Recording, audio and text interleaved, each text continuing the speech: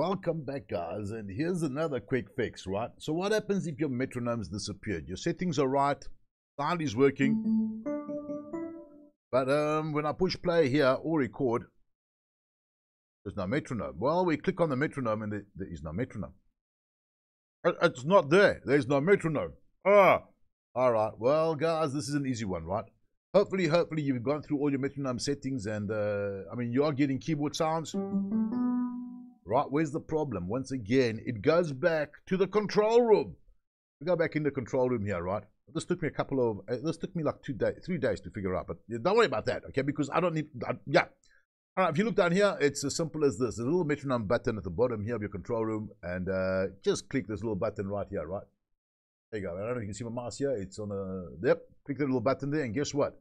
Lo and behold, um, your metronome is back.